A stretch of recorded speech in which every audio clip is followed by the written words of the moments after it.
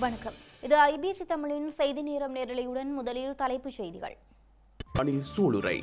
நாடளாவிய ரீதியில் மீண்டும் படையினரை களமிறக்க சிறப்பு வர்த்தமானி. ராகுல் காந்தியை இரண்டு ஆண்டுகளுக்கு சிறையிட நீதிமன்றம் தீர்ப்பு. எல்லா திருடர்களுக்கும் மோடி என்ற பெயர் இருப்பதான கருத்துக்கு தண்டனை. ஐரோப்பிய நாடுகள் விளாடிமிர் புட்டினை கைது செய்ய வேண்டும் என்கிறது அமெரிக்கா. ஹேக் நீதிமன்றத்தை ஏவுகணையால் தாக்கப் போவதாக ரஷ்யாவில் இருந்து எச்சரிக்கை. பிரான்சில் மீண்டும் நாட்டை முடக்கிய பணிப்புறக்கணிப்பு மற்றும் போராட்டங்கள். அரசாங்கத்தையும் மக்களையும் பதவி விலக அழுத்தம்.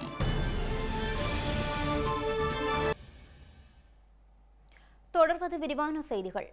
வடக்கு மற்றும் கிழக்கு மாகாணங்களில் பௌத்தமயமாக்கலை முன்னெடுக்கும் படையினர் கச்சதீவையும் விட்டு வைக்காது அங்கே பாரிய புத்தர் சிலை ஒன்றை நிறுவியுள்ளமை தொடர்பாக தமிழ் தேசிய கூட்டமைப்பின் நாடாளுமன்ற உறுப்பினர் சார்ஸ் நிர்மலநாதன் கேள்வி எழுப்பியுள்ளார். அத்துடன் அண்மையில் கச்சதீவு திருவிழாவுக்கென சென்று இந்திய பக்தர்களுக்கு உரிய வசதிகளை செய்து கொடுக்காத ஸ்ரீலங்கா கடற்படையினர் தமது குடும்பத்தினருக்கே முன்னுரிமை வழங்கி செயற்பட்டதாகவும் குற்றம் சாட்டியுள்ளனர்.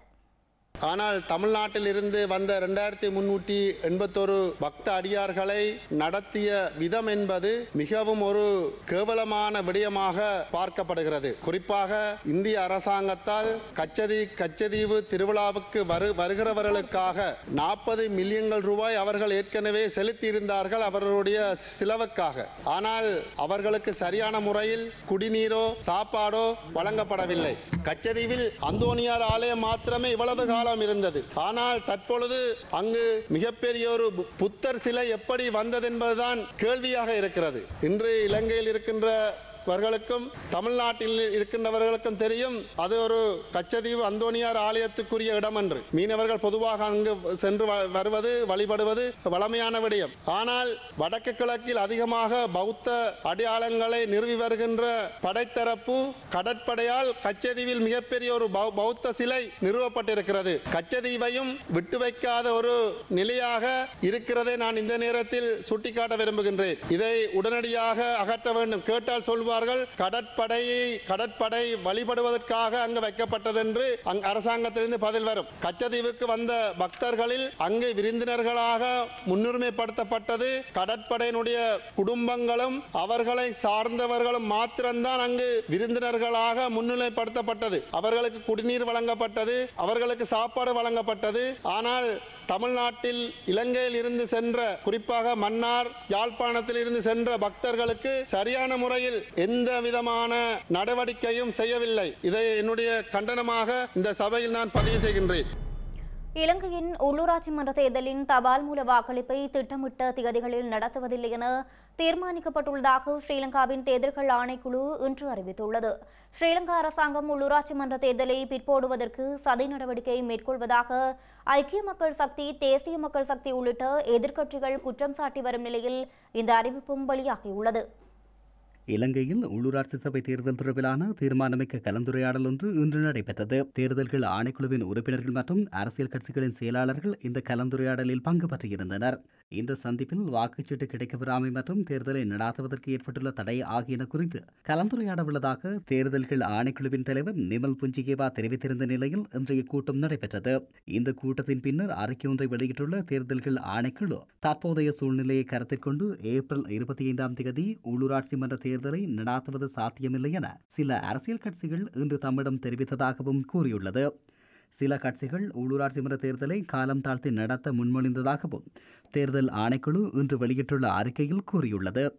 எனினும் இந்த கலந்துரையாடலின் போது சில எதிர்க்கட்சிகள் உச்சநீதிமன்ற தீர்ப்பின் காரணமாக தேர்தலை எந்த வகையிலும் ஒத்திவைக்கக்கூடாது என வலியுறுத்தியதாகவும் ஆணைக்குழுவின் அறிக்கையில் கூறப்பட்டுள்ளது. உள்ளூராட்சி மன்ற தேர்தலுக்கு புதிய திகதி பரிசீலிக்கப்படுமானால் அனைத்து கட்சிகளும் நாடாளுமன்றமும் நிறைவேற்று அதிகாரத்திற்கு உடன்பட வேண்டும் எனும் கருத்தையும் சில அரசியல் கட்சிகள் முன்மொழிந்ததாக தேர்தல்கள் ஆணைக்குழு குறிப்பிட்டுள்ளது. இதன் பிரகாரம் மார்ச் இருபத்தி எட்டு இருபத்தி ஒன்பது முப்பது முப்பத்தி ஒன்று மற்றும் ஏப்ரல் மூன்றாம் தேதிகளில் நடாத்த திட்டமிட்டிருந்த உள்ளூராட்சி மன்ற தேர்தலுக்கான தபால் மூல வாக்களிப்புகளை நடாத்தாமல் இருப்ப நடப்பதற்கு தீர்மானித்துள்ளதாகவும் தேர்தலுக்கான புதிய திகதி பின்னர் தீர்மானிக்கப்படும் எனவும் தேர்தல்கள் ஆணைக்குழு மேலும் தெரிவித்துள்ளது. முன்னதாக தபால் சீட்டுகள் திட்டமிட்டவாறு கடந்த இருபத்தி ஓராம் தேதி தபால் நிலையங்களுக்கு வழங்க முடியாத நிலைமை ஏற்பட்டுள்ளதாக அறிவிக்கப்பட்டிருந்தது.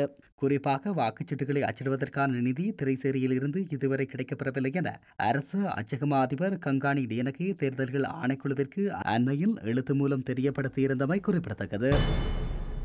இலங்கையில் உள்ள பாடசாலை மாணவ மாணவிகளை பணைய கைதிகளாக்குவதற்கு தாம் அனுமதிக்கப் போவதில்லை என ஸ்ரீலங்கா ஜனாதிபதி ரணில் விக்ரமசிங்க சூளுரைத்துள்ளார். இடமாற்ற சபையில் ஜனாதிபதியின் தலையீடு உள்ளிட்ட விடயங்களில் ஆசிரியர் தொழிற்சங்கத்துடன் முரண்பாடுகள் நீடிக்கும் நிலையில் கொழும்பில் உள்ள சங்கமிதா மகளூர் கல்லூரியில் இடம்பெற்ற நிகழ்வில் உரையாற்றிய போதே அவர் இதனையே கூறியுள்ளார். நாம் நேற்று சர்வதேச நாணய நிதியத்தின் முன்மொழிவுகளை முன்வைத்து விவாதித்தது புதிய பொருளாதாரத்தை கட்டியெழுப்புவதற்கு. எதிர்காலத்திற்காகவே பொருளாதாரத்தை கட்டியெழுப்ப வேண்டும். அதனை நிதியமைச்சும் அமைச்சரவையும் மேற்கொள்ளும். அந்த எதிர்காலத்திற்கு பொருத்தமான பிரஜைகளை உருவாக்குவது கல்வி அமைச்சின் பொறுப்பாகும். ஆகவே அர்ப்பணிப்புடன் இந்த வேலை திட்டங்களை மேற்கொள்ளுங்கள். கல்வி புகட்டுவது மாத்திரமல்ல. கல்வி என்பது பரீட்சை மாத்திரமல்ல. கல்வி என்பது முன்னுதாரணம். அந்த முன்னுதாரணம் பாடசாலையில் இருந்து வர வேண்டும். பாடசாலை அதிபர் ஆசிரியர்கள் அந்த முன்னுதாரணத்தை பெற்றுக் கொடுக்க வேண்டும். அதில் இருந்து விலக முடியாது. அவ்வாறாயின் நீங்கள் செயற்படும் விதம் பொறுப்புகளை நிறைவேற்றுவது முக்கியம். சமூகம் ஆசிரியர் சபை அதிபர்களின் செயற்பாடுகள் ஊடாக பாடசாலையை பிரித்து வைக்க முடியாது. அனைத்தையும் ஒன்றிணைத்து செல்ல வேண்டும். கல்வியை பெற்றுக் கொடுப்பதை சிதைக்க முடியாது. எமக்கு விடுமுறை வழங்க முடியும். எமக்கு கல்வியை வழங்க வேண்டியுள்ளது. கல்வி செயற்பாடுகளை முன்னெடுப்பதையும் பரீட்சைகளை நடத்துவதையும் எம்மால் தடுக்க முடியாது. அதனை சிதைக்க முடியாது. ஆகவே மீதமாக உள்ள பிரச்சனைகள் தீர்க்கப்படும் என நான் எதிர்பார்க்கின்றேன். அவ்வாறு தீர்க்கப்படாத பட்சத்தில் பாடசாலையை அத்தியாவசிய சேவையாக பிரகடனப்படுத்தும் சட்டமூலத்தை நாடாளுமன்றத்தில் சமர்ப்பிக்க வேண்டிய தேவை அரசாங்கத்திற்கு ஏற்படும். அது தேவையா இல்லையா என்பது தேவையான அளவு விவாதம் செய்ய முடியும். ஒவ்வொரு காரணங்களுக்காக வேறு காரணங்களுக்காக இந்த நாட்டின் மாணவ மாணவிகளை பணைய கைதிகளாக சிறைப்படிக்க எம்மால் இடமளிக்க முடியாது. ஆகவே அனைத்து தரப்பினருடனும் கலந்துரையாடும் வாய்ப்பு கிட்டும் என நான் எதிர்பார்க்கின்றேன் அமைச்சர் மற்றும் ராஜாங்க அமைச்சர்கள் சட்ட செயலாக்க அதிகாரிகள் அந்தந்த பிரிவுகளை சேர்ந்தவர்களுடன் கலந்துரையாடி இந்த கல்வி முறைமையை முன்னேற்றும் வகையில் மாணவ மாணவிகள் எதிர்பார்க்கும் கல்வியையும் எதிர்காலத்தையும் பெற்றுக் கொடுக்க முடியும். சர்வதேச நாணய நிதியம் இலங்கைக்கு நிதியை வழங்குவதற்கு முன் தமிழ் சிறுபான்மையினருக்கு கூடுதல் சுயாட்சி என்ற விடயத்தை நிபந்தனையாக விதித்திருக்க வேண்டும் என கனேடிய நாடாளுமன்ற உறுப்பினர் கரி ஆனந்த் சங்கரி தெரிவித்துள்ளார். நீண்டகால அரசியல் மற்றும் பொருளாதார நிலைத்தன்மையை உறுதி செய்யும் அரசியல் மற்றும் பொருளாதார தலைமையில்லாத நாடாக இலங்கை உள்ளதாகவும் அவர் சுட்டிக்காட்டியுள்ளார். ஸ்ரீலங்காவின் எழுபத்தி ஐந்து ஆண்டுகால வரலாற்றில் சர்வதேச நாணய நிதியம். இலங்கைக்கான பதினேழாவது பொருளாதார மீட்பிற்கான நிதியுதவிக்கு அங்கீகாரம் வழங்கியிருந்தது. எந்த ஒரு அளவீட்டின் அடிப்படையிலும் இலங்கை தோல்வியுற்ற மற்றும் பங்குரோத்து நாடாகும். நீண்டகால அரசியல் மற்றும் பொருளாதார நிலைத்தன்மையை உறுதி செய்யும் அரசியல் மற்றும் பொருளாதார தலைமை இல்லாத நாடாக இலங்கியுள்ளது.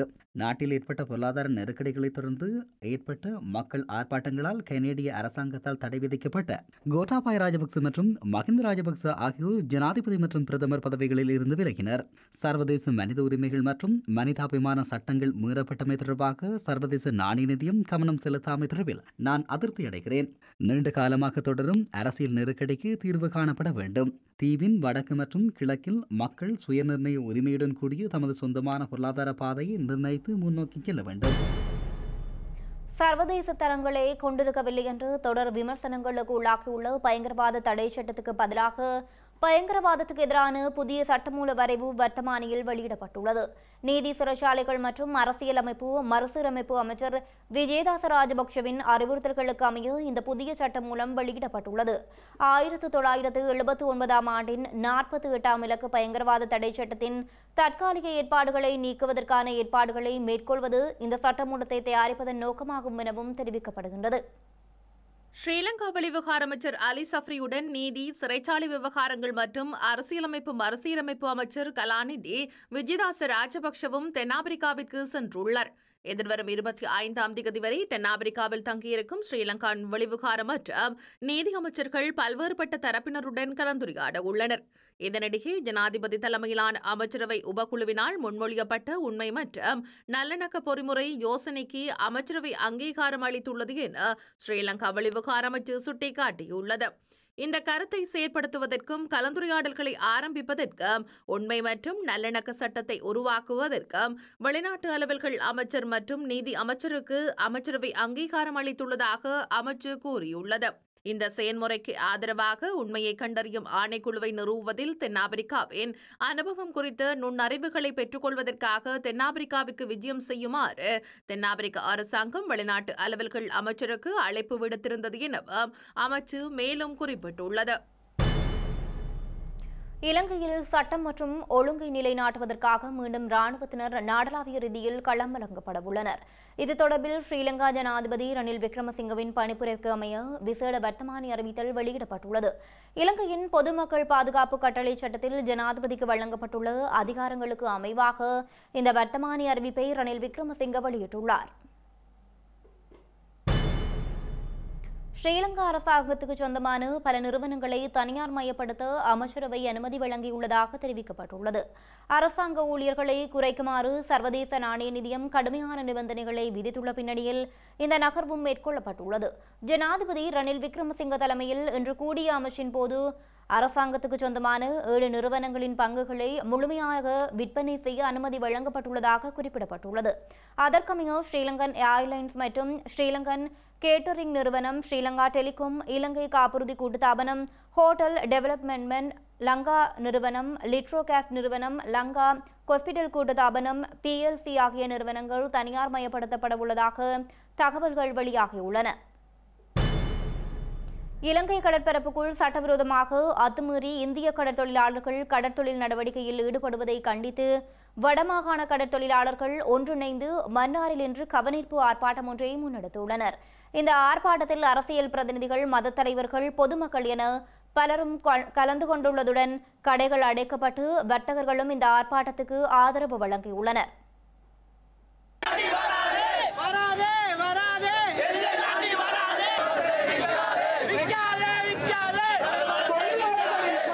வடக்கு கடற்பகுதியை இந்திய கடற்றொழிலாளர்கள் குத்தகைக்கு வழங்குவதையும் இந்திய கடற்றொழிலாளர்களின் அத்துமீறிய வருகையையும் கண்டித்து இன்று மன்னாரில் பாரிய கவனஈர்ப்பு ஆர்ப்பாட்டம் ஒன்று முன்னெடுக்கப்பட்டுள்ளது. வடமாகாண கடற்றொழிலாளர்கள் ஒன்றிணைந்து முன்னெடுத்த இந்த ஆர்ப்பாட்டம் மன்னார் பொது விளையாட்டு மைதானத்திலிருந்து ஆரம்பிக்கப்பட்டுள்ளது. இலங்கை கடற்பரப்பினுள் ஆயிரக்கணக்கான இந்திய கடற்றொழிலாளர்களின் இழுவை படகுகள் அத்துமீறி நுழைந்து தொடர்ச்சியாக மீன்பிடியில் ஈடுபட்டு வருவதற்கு ஆர்ப்பாட்டத்தில் ஈடுபட்டவர்கள் கண்டனம் வெளியிட்டுள்ளனர். அத்துடன் அண்மையில் வெளிவிவகார அமைச்சர் இந்திய படகுகளை இலங்கை கடலில் தொழிலில் ஈடுபட அனுமதி பத்திரம் வழங்குவது தொடர்பாக இந்திய அரசுடன் ஆலோசிக்கப்பட்டு வருவதாக நாடாளுமன்றத்தில் தெரிவித்த கருத்துக்கும் அவர்கள் தமது எதிர்ப்பை வெளியிட்டுள்ளனர். இந்த ஆர்ப்பாட்டத்திற்கு ஆதரவு தெரிவித்து அருட்தந்தையர்கள் நாடாளுமன்ற உறுப்பினர்களான எஸ். வினோ நோகராதலிங்கம் செல்வராசா கஜேந்திரன் உட்பட கடற்றொழிலாளர் அமைப்புகளின் பிரதிநிதிகள் கடற்றொழிலாளர்கள் பொது அமைப்புகளின் பிரதிநிதிகள் பெண்கள் அமைப்புகள் உள்ளடங்கலாக பல்லாயிரக்கணக்கான மக்கள் கலந்து கொண்டிருந்தனர். வடபகுதி கடற்றொழிலாளர்கள் எதிர்நோக்கும் பிரச்சினைகள் தொடர்பில் உரிய நடவடிக்கைகளை மேற்கொள்ளுமாறு கோரி தமது கோரிக்கை அடங்கிய மனு ஒன்றும் ஜனாதிபதி ரணில் விக்ரமசிங்கவுக்கு வழங்கும் வகையில் மன்னார் மாவட்ட அரசாங்க அதிபரிடம் கையளிக்கப்பட்டமை குறிப்பிடத்தக்கது. இந்த கண்டன போராட்டமானது எங்களுக்கு ஒரு இந்திய இலங்கை மீனவர்களுடைய பிரச்சனையிலே ஒரு நிரந்தர தீர்வை பெற்றுத் தருவதற்கு வழிவகுக்க வேண்டும் என்றும் போராட்டம் இறுதி போராட்டமாக அமைய வேண்டும் என்றும் இலங்கை இந்திய அரசுகளுக்கு இந்த மன்னார் மாவட்டத்திலே வைத்து இரண்டாயிரத்தி பதினாறாம் ஆண்டு கொண்டு வரப்பட்ட இலங்கை இந்திய மீனவர் பேச்சுவார்த்தையை முன்கொண்டு சென்று இந்த வருடத்திற்குள்ளே ராஜதந்திர ரீதியிலே இந்திய இலங்கை மீனவருடைய பேச்சுவார்த்தைக்கு தீர்வு பெற வேண்டும். அதே போன்று இரண்டாம் மாதம் இருபத்தி ரெண்டாம் திகதி இலங்கையினுடைய வெளிவிவகார அமைச்சர் அவர்கள் பாரா பாராளுமன்றத்திலே வெளிநாட்டு படகுகளுக்கு அனுமதி கொடுப்பதாகவும் அதனை வரி வரி பெற்று மீனவர்களுக்கு வழங்குவதாகவும் கூறியிருந்த கருத்தை வடக்கு கடற்றொழில் சமூகம் ஒட்டுமொத்தமாக நிராகரிக்கிறது. எனவே வடக்கு கடற்றொ- கடற்றொழில் சமூகம் வடக்கு கடலிலே வெளிநாட்டு படகுகளை அனுமதிப்பதை ஏற்றுக்கொள்ளாது. அது ஒருபோதும் எங்களுக்கு உகந்ததில்லை. எங்களுடைய கடல் எங்களுக்கு வேணும். படகுகளை பக்கத்துக்கு வர விடுவதனால் எமது மீனவர்கள் எவ்வளவோ பாதிப்படைகிறார்கள். அவர்களுடைய வாழ்வாதாரம் மிகவும் மோசமாக பாதிக்கப்படுகின்றது.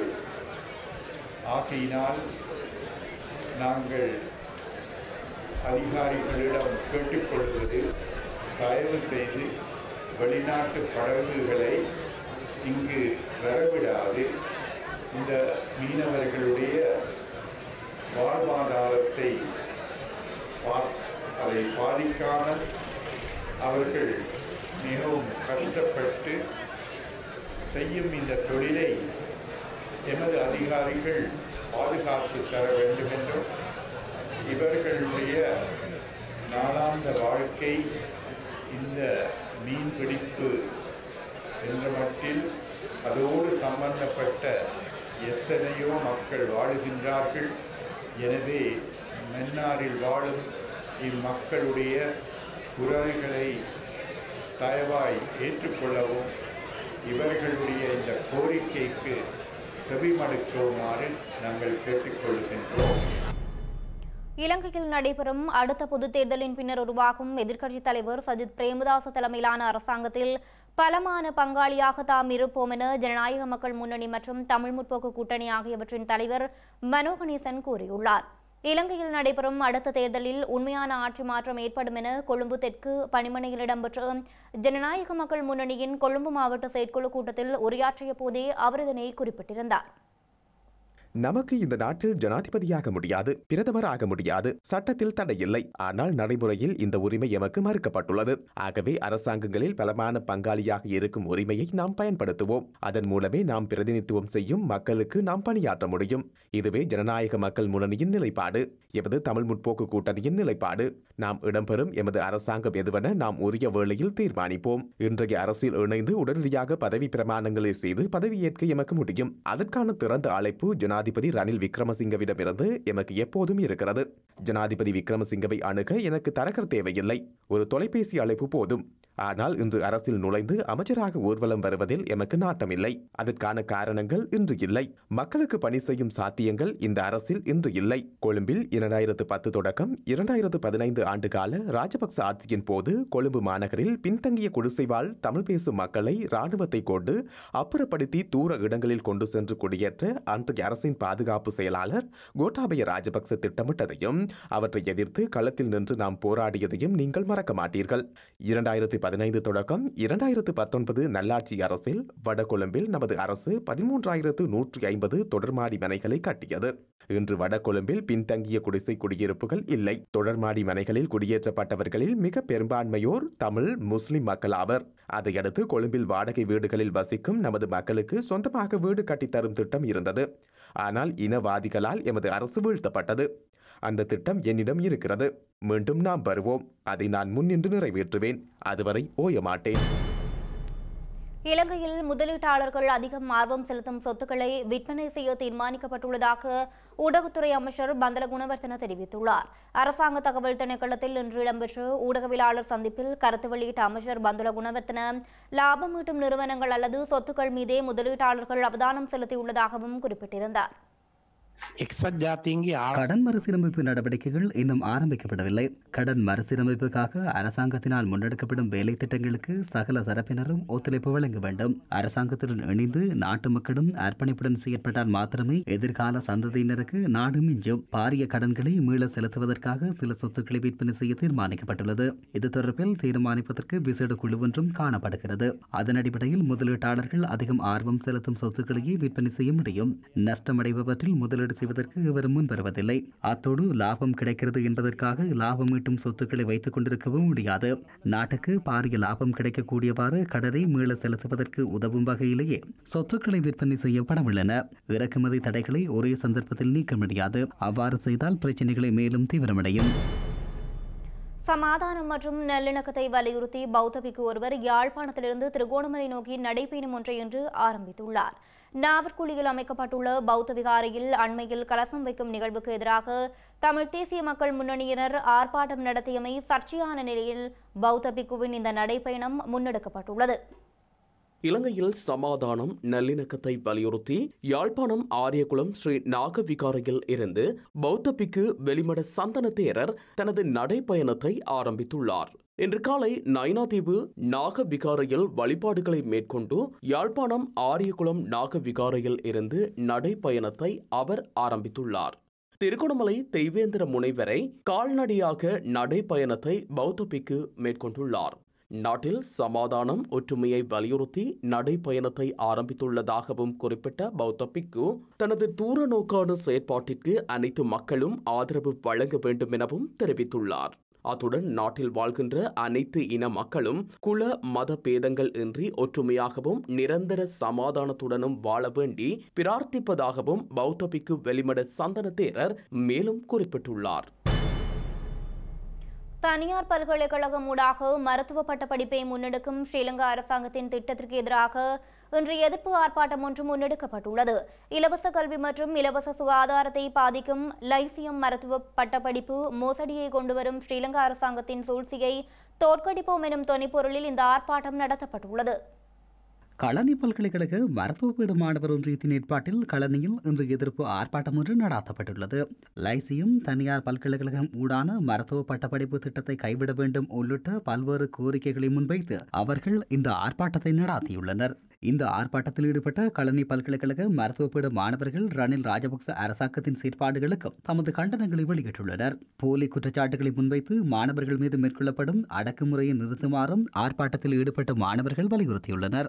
ருகுணு மருத்துவ பீடத்தில் நடைபெறும் மாணவர் மீதான அடக்குமுறையை தடுத்து நிறுத்துமாறும் அவர்கள் கோரிக்கை விடுத்துள்ளனர். களனி பல்கலைக்கழக மாணவர் தலைவர்களான கெலும் முதன்நாயக்க மற்றும் தில்ஷான் கர்ஷன ஆகியோரை விடுவிக்குமாறும் ஆர்ப்பாட்டத்தில் ஈடுபட்ட மாணவர்கள் வலியுறுத்தியுள்ளனர். ஸ்ரீலங்கா அரசாங்க நிதி தொடர்பான தெரிவுக்குழுவுக்கு வழங்கப்பட்டு தற்காலிக தலைவர் பதவி நியமனம் எதிர்வரும் இருபத்தி ஏழாம் தேதியுடன் நிறைவு பெறவுள்ள நிலையில் அந்த பதவிக்கு நிரந்தர தலைவரை நியமிக்க வேண்டும் என வலியுறுத்தப்பட்டுள்ளது. ஸ்ரீலங்கா நாடாளுமன்றத்தில் உரையாற்றிய நாடாளுமன்ற உறுப்பினர் பாட்டலி சம்பிக்கரணவக்க நாடாளுமன்ற நிலையற் கட்டளையின் பிரகாரம் தெரிவுக்குழுவுக்கு நிலையான தலைவரை நியமனம் செய்யுமாறு கோரிக்கை விடுத்துள்ளார். நாடாளுமன்ற தெரிவுக்குழுக்களில் அரசாங்க நிதி தொடர்பான தெரிவுக்குழு முக்கியமானதாக காணப்படுகிறது. நாட்டின் நிதி அதிகாரம் நாடாளுமன்றத்திற்கு பொறுப்பாக்கப்பட்டுள்ள நிலையில் நிதி தொடர்பான கண்காணிப்பு நடவடிக்கைகள் அரசாங்க நிதி தொடர்பான தெரிவுக்குழுவூடாக முன்னெடுக்கப்படுகிறது. அரசாங்க நிதி தொடர்பான தெரிவுக்குழுவின் தலைவர் பதவி எதிர்க்கட்சிக்கு வழங்கப்பட வேண்டும் என நாடாளுமன்ற நிலையியல் கட்டளையில் குறிப்பிடப்பட்டுள்ளது. இருப்பினும் எதிர்க்கட்சிகளின் பரிந்துரைக்கு அமைய அரசாங்க நிதி தொடர்பான தெரிவுக்குழுவின் தலைவர் பதவி நியமனம் இடம்பெறுவதில் தொடர்ந்து எழுப்பறி நிலையில் உள்ளது. அரசாங்க நிதி தொடர்பான தெரிவுக்குழுவின் தலைவராக எதிர்க்கட்சி உறுப்பினர் மயந்த திசாநாயக்க தெரிவு செய்யப்பட்டார். பின்னர் அவர் பதவி விலகினார். அதனைத் தொடர்ந்து அரசாங்க தரப்பின் உறுப்பினர் அரசாங்க நிதி தொடர்பான குழுவின் தற்காலிக தலைவராக நியமிக்கப்பட்டார். இந்த தற்காலிக நியமனம் எதிர்வரும் இருபத்தி ஏழாம் திகதியுடன் நிறைவு பெறும். ஆகவே அரசாங்க நிதி தொடர்பான தெரிவுக்குழுவுக்கு தற்காலிக நியமனத்தை வழங்க முடியாது. ஆகவே இந்த விவகாரம் தொடர்பில் வெகு விரைவில் நாடாளுமன்ற நிலையற் கட்டளையின் பிரகாரம் ஒரு தீர்மானத்தை எடுக்க வேண்டும். பொருளாதார நெருக்கடியால் பாதிப்பை எதிர்கொண்டுள்ள இலங்கைக்கு இலங்கையை கட்டியெழுப்புவதற்கு தேவையான ஒத்துழைப்பை தொடர்ந்தும் வழங்குமாறு ஸ்ரீலங்காவின் பிரதான எதிர்க்கட்சித் தலைவர் சர்வதேசத்திடம் கோரிக்கை விடுத்துள்ளார். வெளிநாடுகளின் தூதுவர்கள் மற்றும் உயர்ஸ்தானிகர்களுடன் கொழும்பில் இடம்பெற்ற கலந்துரையாடலில் எதிர்க்கட்சித் தலைவர் இந்த கோரிக்கையை முன்வைத்துள்ளார். உலகிலுள்ள பன்னிரண்டு நாடுகளை பிரதிநிதித்துவப்படுத்தும் தூதுவர்கள் உள்ளிட்ட பிரதிநிதிகள் மற்றும் எதிர்க்கட்சிகளை பிரதிநிதித்துவப்படுத்தும் கட்சித் தலைவர்களுடனான விசேட கலந்துரையாடல் ஒன்று இடம்பெற்றது. இலங்கையின் தற்போதைய நிலைமை குறித்த விடயங்களை தெளிவுபடுத்தும் முதன்மை நோக்கத்துடன் எதிர்க்கட்சித் தலைவர் சஜித் பிரேமதாச தலைமையில் நேற்று கொழும்பில் தனியார் விடுதியொன்றில் இந்த கலந்துரையாடல் ஏற்பாடு செய்யப்பட்டிருந்தது. குறிப்பாக இலங்கையில் ஜனநாயகத்தை நிலைநிறுத்துதல் அரசியலமைப்பை பாதுகாத்தல் மற்றும் உள்ளூராட்சி மன்ற தேர்தலை நடத்துவது போன்ற விடயங்கள் தொடர்பில் இந்த கலந்துரையாடலில் விரிவாக எடுத்துரைக்கப்பட்டுள்ளது. பிரித்தானியா ஐரோப்பிய ஒன்றியம் America Netherlands Italy India Japan Australia France Canada உள்ளிட்ட நாடுகளை பிரதிநிதித்துவப்படுத்தும் தூதுவர்கள் உயர்ஸ்தானிகர்கள் பிரதி உயர்ஸ்தானிகர்கள் வதிவிட பிரதிநிதிகள் உள்ளிட்டோர் இந்த கலந்துரையாடலில் கலந்து கொண்டமை குறிப்பிடத்தக்கது. பிரித்தானிய கரப்பந்தாட்ட வரலாற்றில் முதன்முறையாக உருவாகியுள்ள பிரீமியர் லீக் போட்டிக்கு வீரர்களை ஏலமுறையில் தெரிவு செய்யும் நிகழ்வு நேற்று நடைபெற்றிருந்தது. இந்த வீரர்களை கொண்ட அணிகள் பங்கு மற்றும் கரப்பந்தாட்ட போட்டி அடுத்த மாதம் இருபத்தி மூன்றாம் தேதி நடைபெறவுள்ளமை குறிப்பிடத்தக்கது. பன்னிரண்டு அணிகளின் அறிமுகத்துக்கு பின்னர் அந்த அணிகளுக்காக விளையாடவுள்ள வீரர்கள் புள்ளிகளை அடிப்படையாக கொண்டு ஏலமுறையில் தெரிவு செய்யப்பட்டனர். இந்த ஏலமுறையில் பணத்தை கொண்டு வீரர்கள் தெரிவு செய்யப்படாமல் பன்னிரண்டு அணிகளுக்கும் தலா ஆயிரம் புள்ளிகள் வழங்கப்பட்டு அந்த புள்ளிகளை அடிப்படையாக கொண்டு வீரர்கள் திரட்டப்பட்டிருந்தனர். இவ்வாறு திரட்டப்பட்ட வீரர்களை Oscar Lima London Fire Tamil Palam Thaimann volleyball Kings Golden Eagles Marutham United Riders Romeo November Isai Tamil இணைந்த கரங்கள் யூகே தமிழ் யுனைடெட் ஆகிய பனிரெண்டு அணிகளின் உரிமையாளர்கள் மற்றும் முகாமையாளர்கள் பொறுப்பேற்றிருந்தனர். யாழ் பல்கலைக்கழக களஞ்சிய சாலையில் இடம்பெற்று பாரிய பொருட்கையாடல் குறித்து காவல்துறையினர் விசாரணைகளை ஆரம்பித்துள்ளனர். பொருட்கையாடலில் பல்கலைக்கழக அதிகாரிகளும் ஈடுபட்டுள்ளதாக தகவல் வெளியாகியுள்ளமை பல்கலைக்கழக சமூகத்திற்கு மத்தியில் பேசுபொருளாகியுள்ளது. யாழ்ப்பாண பல்கலைக்கழக பராமரிப்பு கிளையின் களஞ்சிய சாலையில் இருந்து மின் இணைப்பு சாதனங்கள் மற்றும் கட்டடப் பொருட்கள் போன்றவை நீண்ட காலமாக களவாடப்பட்டுள்ளன. மிக குறுகிய காலத்தினுள் சுமார் ஒரு மில்லியன் ரூபாய் பெறுமதியான மின் இணைப்பு சாதனங்கள் காணாமல் போனதை அறிந்த நிர்வாகம் இதுகுறித்து செய்த முறைப்பாட்டை அடுத்து கோப்பாய் காவல்துறையினர் விசாரணைகளை ஆரம்பித்துள்ளனர். பராமரிப்பு கிளையில் பணியாற்றும் ஊழியர்கள் சிலரே இந்த கையாடலில் ஈடுபட்டதாக குற்றம் சாட்டப்பட்டது. இந்த நிலையில் பல்கலைக்கழக மேலதிகாரிகள் உள்ளக விசாரணைகளை மேற்கொண்ட நிலையில் பல்கலைக்கழக அதிகாரிகள் சிலரும் தொடர்பு பட்டிருப்பது தெரியவந்துள்ளது. அதன் பின்னரே காவல்துறையினரிடம் முறைப்பாடு செய்யப்பட்டுள்ளதாக யாழ்ப்பாண பல்கலைக்கழக நிர்வாகம் மேலும் தெரிவித்துள்ளது. உலக காசநோயாளர் தினத்தை முன்னிட்டு வவுனியா மாவட்டத்தில் நாளை விழிப்புணர்வு பேரணி ஒன்றை முன்னெடுக்கவுள்ளதாக குறிப்பிட்ட வவுனியா மாவட்ட காசநோய் கட்டுப்பாட்டு வைத்திய அதிகாரி கே என் சந்திரகுமார் காசநோய் அறிகுறியுடைய பலர் அதற்கான பரிசோதனைகளை முன்னெடுக்காமல் பொதுவழியில் நடமாடுவதாகவும் தெரிவித்திருந்தார். வவுனியாவில் இன்றைய தினம் இடம்பெற்ற ஊடகவியலாளர் சந்திப்பில் கலந்து கொண்டு கருத்து தெரிவித்த வைத்திய அதிகாரி கே. என். சந்திரகுமார் முறையாக ஆறு மாதங்கள் தொடர்ச்சியாக சிகிச்சை எடுத்துக்கொண்டால் காசநோயிலிருந்து முழுமையாக மீளலாம் எனவும் சுட்டிக்காட்டியுள்ளார். மேலும் சில உள்ளூர் செய்திகள் தொடர்கின்றன.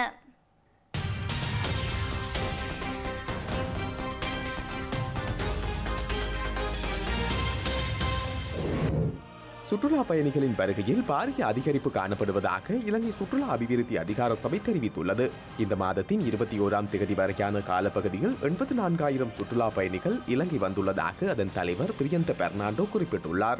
அத்துடன் இந்த வருடத்தின் முதல் மூன்று மாதங்களில் மூன்று லட்சத்து முப்பதாயிரத்திற்கும் அதிகமான சுற்றுலா பயணிகள் இலங்கைக்கு வருகை தந்துள்ளனர். யாழ்ப்பாணம் அச்சுவேலி பிரதேச வைத்தியசாலைக்கு ஒரு தொகுதி மருத்துவ உதவிப் பொருட்கள் வழங்கி வைக்கப்பட்டுள்ளன. தொண்டைமானாறு செல்வ சன்னதி ஆசிரமத்தின் மோகன் சுவாமி தலைமையிலான குழுவினரால் குறித்த உதவிகள் வழங்கி வைக்கப்பட்டுள்ளன. அச்சிவேலி பிரதேச வைத்தியசாலையின் வைத்திய அதிகாரியிடம் இந்த மருந்து பொருட்கள் வழங்கி வைக்கப்பட்டுள்ளன. குறித்த மருந்து பொருட்கள் சிறுவர்களுக்கான அத்தியாவசிய மருந்து பொருட்களே என தெரிவிக்கப்பட்டுள்ளமை குறிப்பிடத்தக்கது. கிளிநொச்சி பழைய காவல்துறை நிலையத்தில் கடமையாற்றும் இரண்டு காவல்துறை உத்தியோகத்தர்கள் கஞ்சா போதைப் பொருளுடன் கைது செய்யப்பட்டுள்ளனர். இரவு நேர கடமைகளுக்காக சென்றிருந்த இருவரும் காணாமல் போனதாக தகவல் வெளியாகியிருந்த நிலையில் தற்போது அவர்கள் கைது செய்யப்பட்டுள்ளமை உறுதி செய்யப்பட்டுள்ளது. நுவரலியா போகவந்தலாவை லைனோன் எசல் சமூக ஓயாவில் இருந்து பெண் சிசுவின் சடலம் ஒன்று நேற்றைய தினம் மீட்கப்பட்டுள்ளது.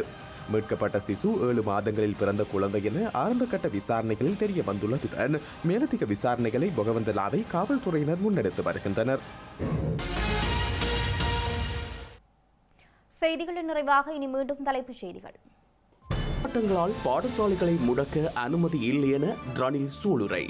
நாடளாவிய ரீதியில் மீண்டும் படையினரை களமிறக்க சிறப்பு வர்த்தமானி.